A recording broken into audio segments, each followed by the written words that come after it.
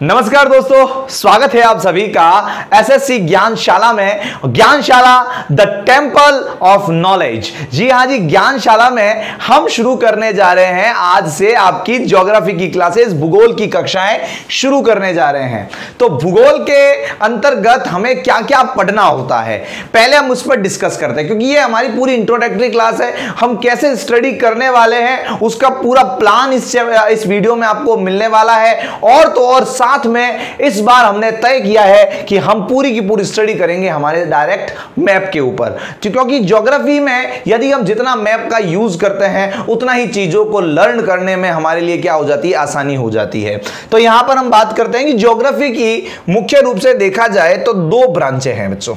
दो ब्रांचें हैं, एक है आपके फ़िज़िकल ज्योग्राफी और दूसरी है ह्यूमन ज्योग्राफी फ़िज़िकल ज्योग्राफी और ह्यूमन ज्योग्राफी यानी कि आपके भौतिक भूगोल, मेरे विद्यार्थियों, मैं दोनों भाषाओं का यहाँ पर प्रयोग करूँगा। भौतिक भूगोल और मानव भूगोल। इन दो भूगोल के अंदर हम इसको विभाजित करते हैं। कक्षा इलेवेंथ के अंदर, ग्यारहवीं कक्षाओं के बच्चे जो इस वीडियो को देखेंगे, उनके लिए मैं बात करूँ तो यहाँ पर भौतिक भूगोल और कक्षा 12 के अंदर जो है, उनके लिए बात करूँ तो उन्हें पढ़ना है मानव भूगोल। ये वीडियो जो है, वो दोनों ही कक्षाओं के लिए उपयोगी है, क्योंकि ये भूगोल का इंट्रोडक्टरी वीडियो है कि भूगोल में अपने को क्या क्या पढ़ना होता है क्या क्या चीज़ों को समझना होता है। तो फ़िज़िकल ज्योग्राफी की अगर बात करें तो फ़िज़िकल ज्योग्राफी के अंतर्गत हमें क्या क्या पढ़ना होता है बच्चों? हमें फ़िज़िकल ज्योग्राफी के अंतर्गत पढ़ना होता है जलमंडल के बारे में। हमें फ़िज़िकल ज्योग्राफी के अंदर पढ़ना होता है बच्चों स्थल मंडल के बारे में। हमें पढ़ना होता है बच्चों वायुमंडल के बारे में। हमें पढ़ना होता है बच्चों इसके अंतर्गत जैव मंडल के बारे में जहाँ सारे मंडल मिल जाते हैं वो मंडल कहलाता है जैव मंडल। यानी कि आपको इसके अंदर हाइड्रोस्फेयर लिथोस्फेयर आपके ए, आ, एयर स्पेयर इन सभी के बारे में बायोस्फेयर इन सभी के बारे में हमें यहाँ पर पढ़ना होता है। और यहाँ पर बात करें ह्यूमन ज्योग्राफी की। तो ह्यूमन ज्योग्राफी के अंतर्गत हम किसकी बात करते हैं? ह्यूमन की बात करते हैं, मानव की बात करते हैं। क्योंकि भूगोल ह्यूमन जब हम ह्यूमन ज्योग्राफी वर्ड का यूज़ करते हैं तो इसका सीधा सीधा तात्पर्य है कि हम बात कर रहे हैं मानव की, कि मानव भूगोल को किस प्रकार प्रभावित करता है अथवा भूगोल मानव को किस प्रकार प्रभावित करती है। उसके ऊपर बात करते हैं। तो इसके अंदर हमें क्या पढ़ना होता है बच्चों? इसके अंदर हमें बात करना पड़ेगा अलग अलग प्रजातियों के बारे में हमें बात करना पड़ेगा उनके प्रवास के बारे में हमें बात करनी पड़ेगी उनकी जनसंख्या के बारे में हमें बात करनी पड़ेगी आ, उनके वो जो जो खनिज आदि जो प्राकृतिक संसाधन कह सकते हैं मैं एक प्रकार से ये वर्ड यूज़ कर सकता हूँ प्राकृतिक संसाधन यानी कि नेचुरल रिसोर्सेज नेचुरल रिसोर्सेज की यहाँ पर बात की जा सकती है। कि वो नेचुरल रिसोर्सेज कौन कौन से यूज़ करते हैं तो प्रवास सेटलमेंट आपके आ गया पॉपुलेशन आ गई, इन सब चीज़ों के बारे में हमें ह्यूमन ज्योग्राफी के अंतर्गत स्टडी करनी होती है।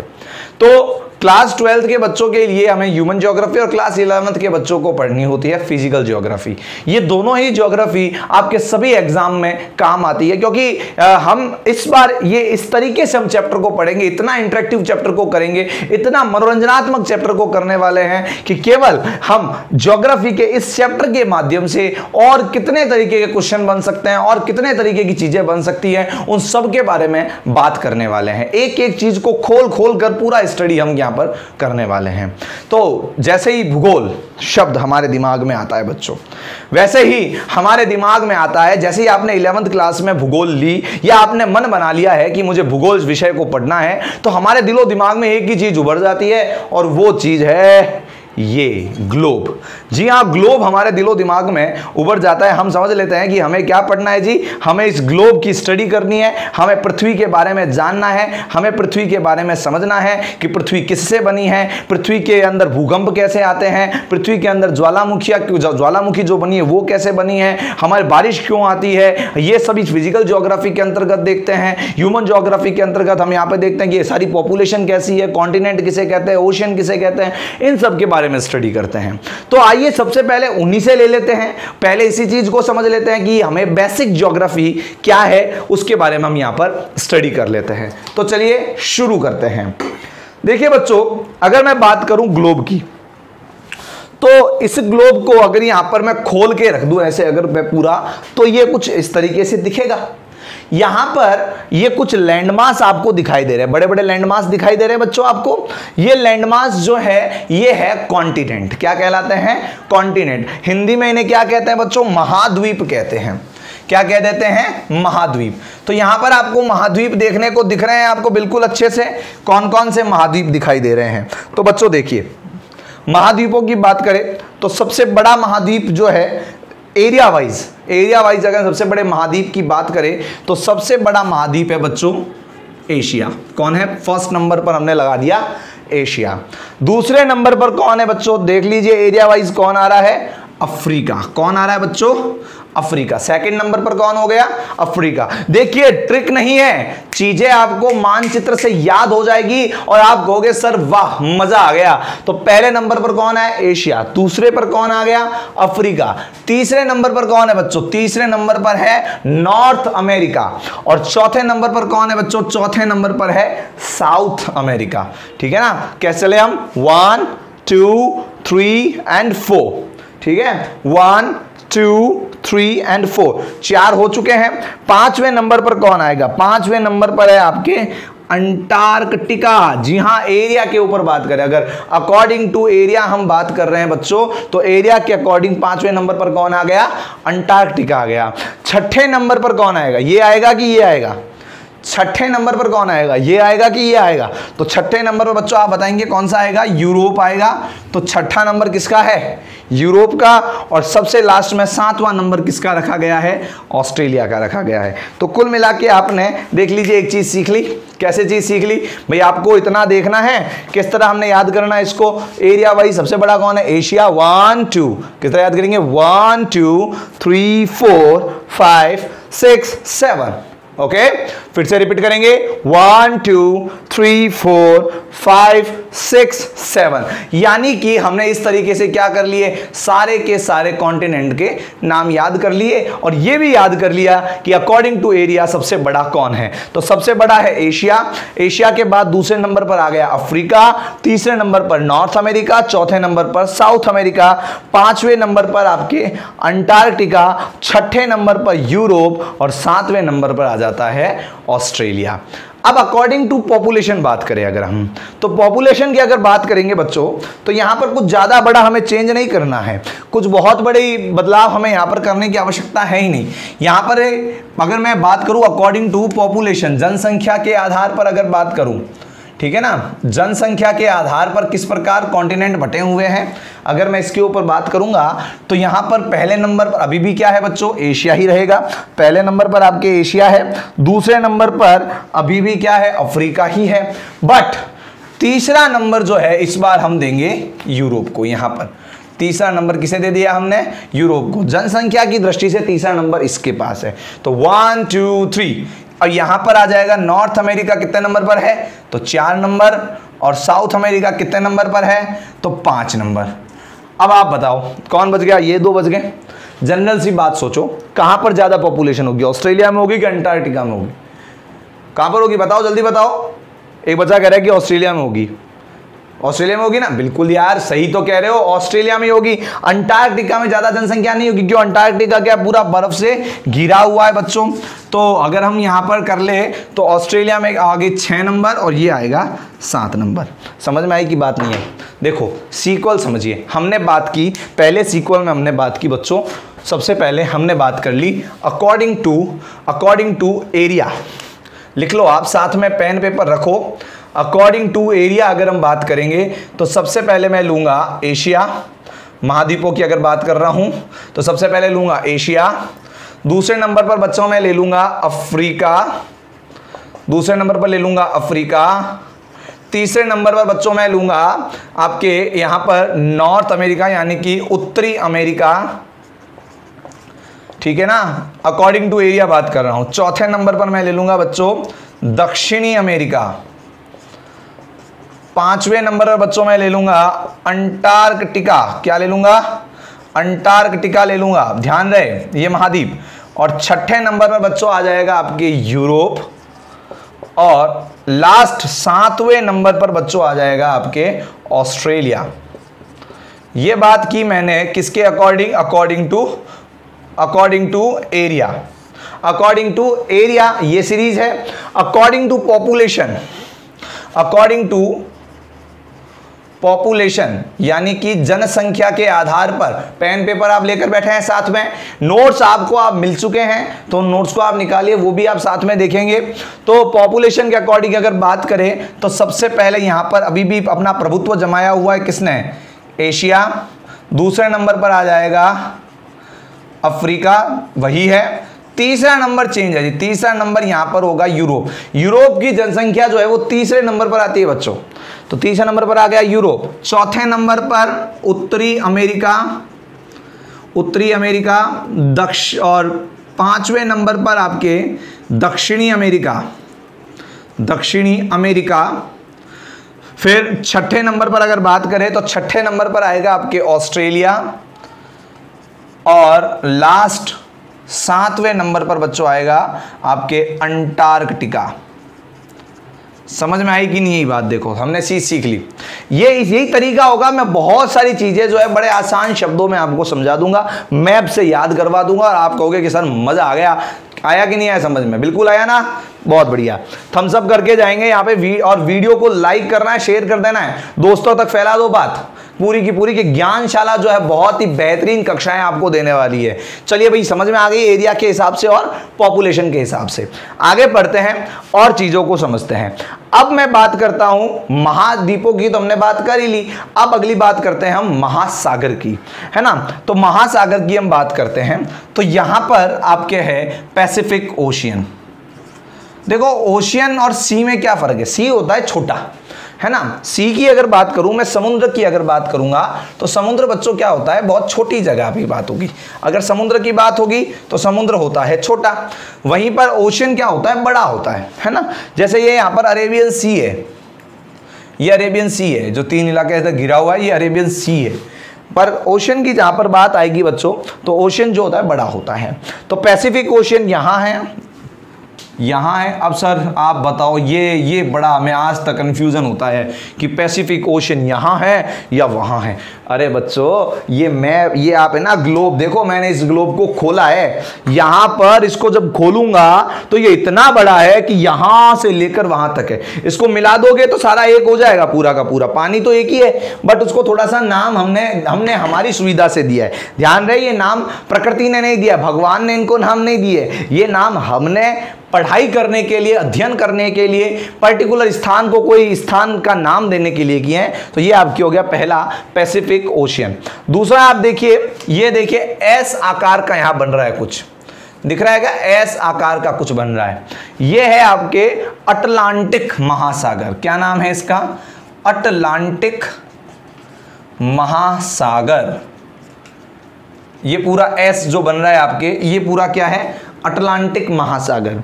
ये जो आपके आपके अंटार्कटिका के पास में है ये जो नीचे की साइड में ये जो महासागर फैला है, ये है दक्षिण महासागर। क्या नाम है इसका? दक्षिण महासागर। Southern ocean. ठीक है, इसका एक नाम अंटार्कटिक महासागर भी है, ध्यान रहे। अंटार्कटिक महासागर भी इसे कहते हैं बच्चों। तो दोनों चीज़ें आपको ध्यान रखनी है। अंटार्कटिक ओशन भी इसे कहते हैं। तो अंटार्कटिक महासागर भी यही है। समझ में आ गई? दक्षिण महासागर, ये जो एस साइड बन गया, ये अटलांटिक महासागर। उसके अलावा और कहाँ पर है जी? पहला हो गया एक, दो, तीन। ठीक है? यहाँ पर ऊपर की तरफ़, यहाँ ये जो दिख रहा है, ये ऊपर वाला। अब ये वाला पार्ट क्या है? सर, आपने सारे बताया ये बेटा, ध्यान रखिए, ग्रीनलैंड है। क्या ये ग्रीनलैंड है? ओके कुछ घबराने वाली बात नहीं है, सारी चीज़ें बड़ी आसान है। ये जो ऊपर वाला महासागर दिखाई दे रहा है ना बच्चों, ये ऊपर वाला, इसका नाम है आर्कटिक। क्या है? आर्कटिक आर्कटिक महासागर। आर्कटिक ओशियन, ऊपर वाला जो है वो कौन सा ओशियन है बेटा? आर्कटिक ओशियन है। और ये वाला ओशियन कौन सा है? ये वाला ओशियन कौन सा है? ये अपना ओशियन है। एकमात्र ऐसा है जिसका नाम देश के नाम पर है। क्या नाम है इसका? हिंद महासागर। Indian ocean. ठीक है ना? Indian ocean. तो एकमात्र आपके महासागर है। इंडियन ओशियन तो आ रही बात समझ में? आपने किसकी बात कर ली? सबकी बात कर ली। तो अब मैं बात करूँ इसको थोड़ा सा और अच्छे से समझते हैं। तो नंबर अगर दें अगर हम, ठीक है? नंबर सबसे बड़ा सबसे बड़ा महासागर कौन सा है? अब सबसे बड़ा महासागर जब कहा जाएगा तो बेटा हम बात करेंगे उसकी लेंथ के आधार पर भी बात करेंगे। उसकी डेप्थ के आधार पर भी बात करेंगे और उसके वॉल्यूम के आधार पर भी बात करेंगे कि वो कितना लंबा है, कितना बड़ा है, कितना गहरा है। उस आधार पर हम महासागर का डिस्ट्रीब्यूशन अगर करें तो सबसे बड़ा महासागर देखते पता चल रहा है। कौन सा है जी? प्रशांत महासागर है पैसिफिक ओशियन है। फ़र्स्ट नंबर पर कौन आ जाएगा आपके? पैसिफिक ओशियन आ जाएगा, प्रशांत महासागर। सबसे पहले नंबर पर आ जाएगा। दूसरे नंबर पर अगर हम दें तो दूसरा जो नंबर है, वो है अटलांटिक महासागर। देखिए जी, सीधा बड़ा दिख रहा है आपको अटलांटिक महा महासागर दूसरे नंबर पर, दूसरा सेकंड नंबर इसको दे देंगे। थर्ड नंबर पर आ जाएगा आपके हिंद महासागर। तीसरे नंबर पर कौन सा आ जाएगा?